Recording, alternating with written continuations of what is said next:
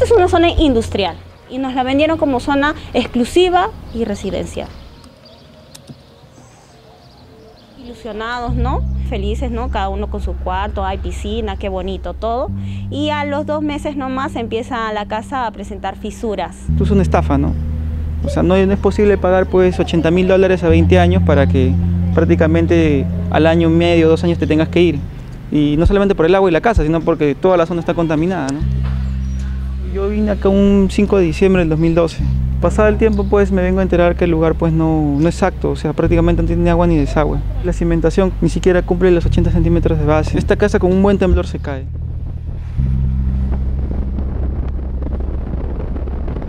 Nos damos cuenta que empiezan a venir cisternas, empezamos a indagar y vemos que el agua no es de Sedapal, que no tenemos desagüe, que todo es por silos. Sedapal no provee a esas cisternas, lo ha contestado directamente. Desconocen de dónde viene el agua de cisterna. Los que más sufren son los niños, ¿no? Eh, la piel este, le salían como escamas y cuando yo lo secaba a mi hijo le sangraba. A, mis hija, a mi hija también en, la zona de la axila, que es una zona, pues una piel mucho más delicada, se le hacía como ampollitas. Yo tengo una bebé de un año y medio ahorita cuando nos dimos cuenta de la contaminación, nos vamos a sacarle una prueba de sangre y en el laboratorio y le sale 1.39 a los 6 meses. O sea, es un, es un bebé de 6 meses, o sea, no puede tener plomo. Y pasado el tiempo, le sube a 2.5. Y es cuando yo decido ya mudarme, ¿no? Mandamos a hacer análisis de sangre a mis hijos para ver cuál es la cantidad de plomo que había, entre otros minerales, ¿no? Y sale que en mi hijita sale con 1.5 ¿no? decilitros de plomo en la sangre. A mi menor hijo empieza con 4.7, a los 3 meses arroja 6.7.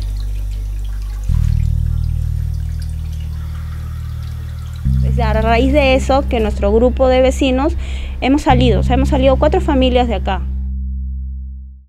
Se encontró mucha contaminación que existía acá y prácticamente de ahí fue donde se declaró esto que era un lugar no muy habitable porque había existía mucha contaminación, especialmente en el aire. Las minas, lo, que eran las ladrilleras, lo que quemaban, lo que quemaban las, las baterías. Nosotros estamos a, dos pasos nomás estamos ahí al lado de, de toda esa contaminación. Que por favor nos oigan, nos den solución. Nuestro asentamiento es el inicio de, las lomas y es el inicio también de los problemas. De la mano con la contaminación del polvo, con la contaminación de, de las fábricas que existen en todas las lomas. La empresa dice que no existen las ladrilleras, no existe, o sea, todo lo que vemos, esto no existe. No existe, es un espejismo, no existe.